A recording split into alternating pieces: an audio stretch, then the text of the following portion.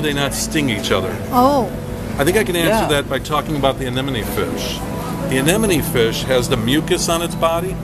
The reason it doesn't get stung is because when it goes into the sea anemone, it gets stung with the little darts into that mucus. But the mucus is so thick that it doesn't go into the skin.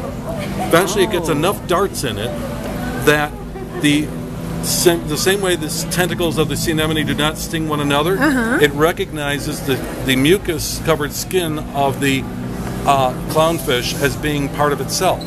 If you take that fish and wipe off the mucus and put it into the sea anemone, it'll be stung to death. I see. Now, Oh my God. I don't doubt the reason they're not stinging each other, which I assume they're not, is because they are.